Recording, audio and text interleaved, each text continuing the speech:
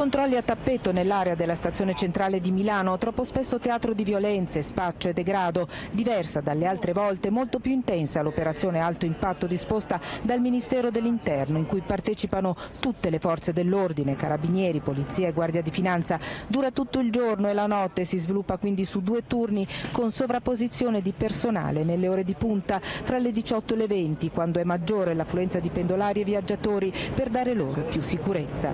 Diamo continuità alla nostra azione, in questo periodo particolare grazie alle risorse impegnate anche dal Ministero che si aggiungono alla territoriale stiamo dando un maggiore impulso ad un'attività in un territorio che è molto particolare, quello della stazione di Milano e le aree limitrofe.